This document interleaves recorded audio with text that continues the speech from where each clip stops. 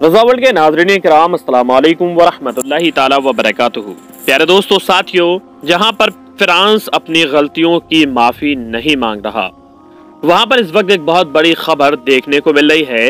आपको बता दें कि प्यारे आका हुजूर अकरम अलैहि वसल्लम की शान मुबारक में गुस्ताखी, गुस्ताखियों का सिलसिला काफ़ी ज़्यादा तेज़ हो गया है। इसके बाद आपने देखा कि सारे मुल्क हिंदुस्तान के अलावा गैर ममालिक में लोग इसका जमकर के प्रोटेस्ट कर रहे हैं। लेकिन इस वक्त एक बहुत बड़ी खबर आप लोगों को बता दें कि सरकार को 24 घंटे का अल्टीमेटम दिया गया है। कहा गया है, अगर फ्रांस रिश्ते खत्म नहीं किए गए तो हम क्या करेंगे?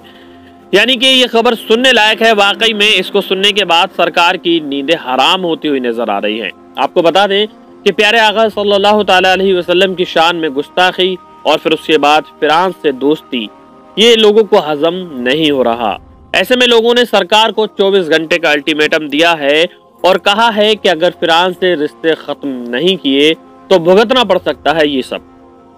क्या है मामला? सब आपको आज की इस वीडियो में बताएँगे। प्यारे आका वसल्लम के दीवानों, अगर आप इस वीडियो को देख रहे हैं तो इस वीडियो को कम से कम दस लोगों को ज़रूर शेयर करें। क्योंकि हम चाहते हैं आज की ये इन्फॉर्मेशन आज की ये न्यूज़ उन तमाम ही लोगों तक पहुँच जाए जो कि फ्रांस के साथ हैं फ्रांस का समर्थन करते हैं।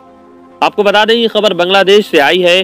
फ्रांस की तरफ़ से नबी पाक सल्लल्लाहु अलैहि वसल्लम की शान में की गई गुस्ताखी पर। दुनिया भर में प्रदर्शन रोकने का नाम नहीं ले रहा, बल्कि प्रदर्शन और ज़्यादा तेज हो रहा है। आज बांग्लादेश की राजधानी ढाका में वहाँ की सबसे बड़ी धार्मिक पार्टी, हिफाजत इस्लाम ने सरकार को अल्टीमेटम देते हुए कहा है कि वो नबी पाक सल्लल्लाहु अलैहि वसल्लम की शान में गुस्ताखी करने वाली। फ्रांस सरकार के साथ राजनयिक संबंध 24 घंटे के अंदर अंदर खत्म कर दें।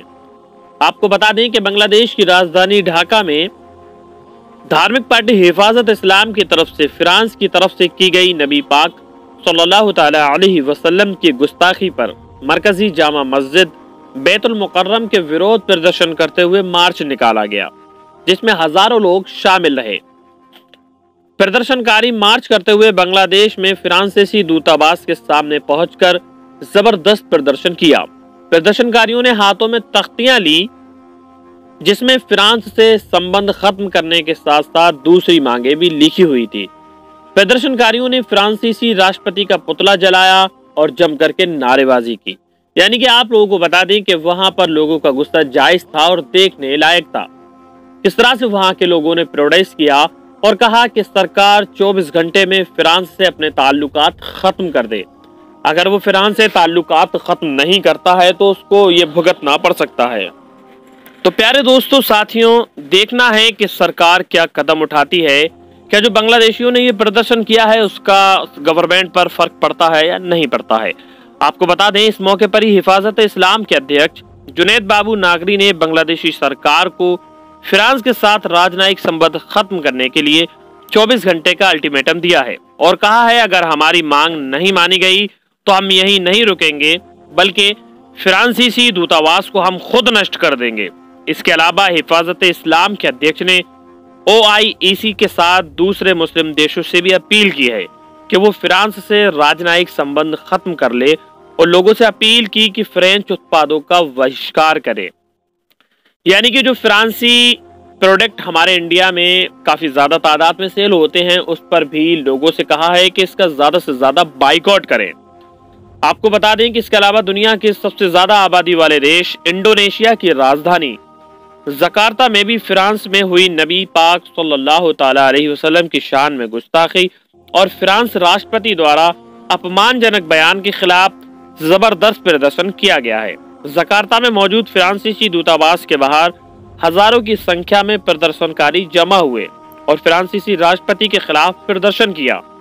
प्रदर्शनकारियों ने फ्रांसीसी उत्पाद के बाइकआउट और फ्रांसीसी राष्ट्रपति से उनके इस्लाम के खिलाफ दिए गए बयान वापस लेने की भी मांग की गई है। प्यारे दोस्तों, साथियों, आपको बता दें कि ये प्रदर्शन रुकने का नाम नहीं ले रहा। साथ ही अगर आप भी फ्रांस का बाइकआउट करना चाहते हैं, प्यारे आका सल्लल्लाहु अलैहि वसल्लम से मोहब्बत रखते हैं तो आप भी अपने इलाके में फ्रांस का बाइकआउट कीजिए। फ्रांस के जो प्रोडक्ट हैं, फ्रांस के जो उत्पाद है, उन पर रोक लगाइए। और यहाँ पर ज़्यादा से ज़्यादा लोगों को बताइए कि आखिरकार फ्रांस को लेकर के सारी दुनिया में क्या चल रहा है। क्योंकि आज भी लोग इससे वाकिफ नहीं हैं, उन लोगों को मालूम ही नहीं कि दुनिया में आखिरकार क्या हो रहा है।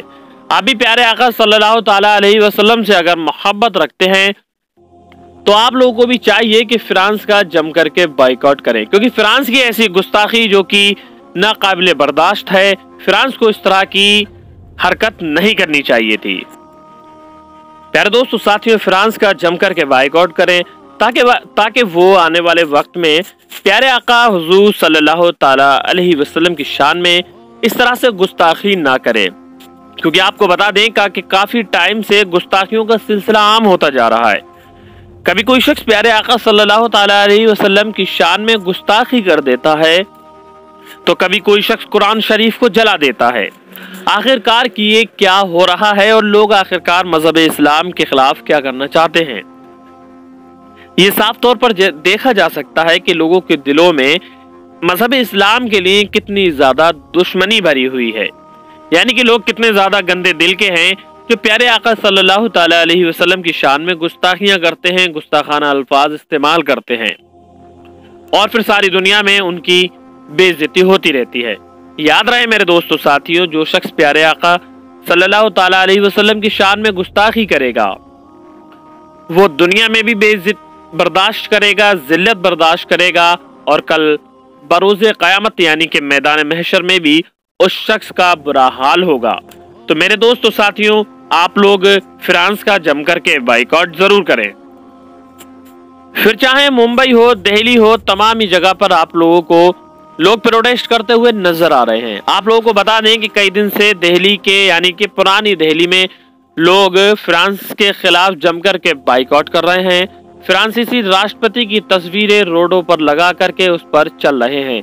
यहाँ तक कि आपको बता दें कि मस्जिद की सीढ़ियों पर भी वहाँ पर काफ़ी ज़्यादा तस्वीरें लगाई हुई दिख रही हैं, क्योंकि इस तरह की गुस्ताखाना अल्फाज तेराका सल्लल्लाहु अलैहि वसल्लम की शान में गुस्ताखी का सिलसिला आम होता जा रहा है। हमें यकीन है कि आप फ्रांस की इस हरकत से काफ़ी ज़्यादा परेशान हैं, आप लोगों के दिलों को भी काफ़ी ज़्यादा चोट पहुँची है, हमें भी काफ़ी ज़्यादा चोट पहुँची है। तो आप इसका जम करके बाइकआउट करें और साथ ही साथ इस वीडियो को दिल खोल करके शेयर करें। जिससे कि वीडियो ज़्यादा से ज़्यादा लोगों तक पहुँचे और ज़्यादा से ज़्यादा लोग फ्रांस राष्ट्रपति पर लानत भेजें। प्यारे दोस्तों, साथियों, यकीनन अगर उस पर लानत ज़्यादा से ज़्यादा भेजिए, ताकि उस शख्स को मालूम हो कि मज़हब इस्लाम से दुश्मनी और प्यारे आका सल्लल्लाहु अलैहि वसल्लम के लिए दिल में बुग्ज रखना, उनके लिए गुस्ताखाना अल्फाज कहना आखिरकार कैसा होता है, जिससे कि वो शख्स जो है गिलगिलाता हुआ नज़र आ जाना चाहिए। ये सब हमारे और आपके करने से ही होगा। आप लोग वीडियो को दिल खोल करके शेयर कर दें, ताकि ज़्यादा से ज़्यादा लोगों तक वीडियो पहुँचे और उसका जम करके बाइकआउट करें। मिलते हैं एक और कामयाब वीडियो के साथ। तब तक के लिए अल्लाह हाफिज दुआ खैर में याद रखें।